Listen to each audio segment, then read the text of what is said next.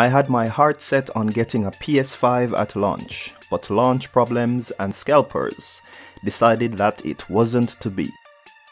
The gaming gods have smiled on me in a different way though. While cleaning recently, I found a plastic model kit for the original PlayStation that I barely remember buying. It's from the poorly named Best Hit Chronicle series from Bandai.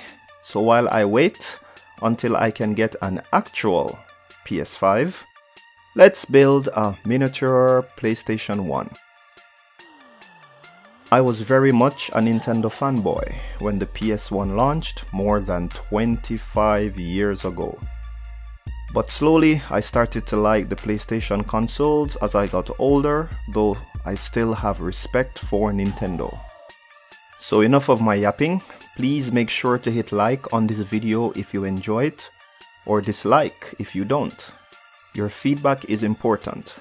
Comment below and be sure to subscribe. Thank you for watching.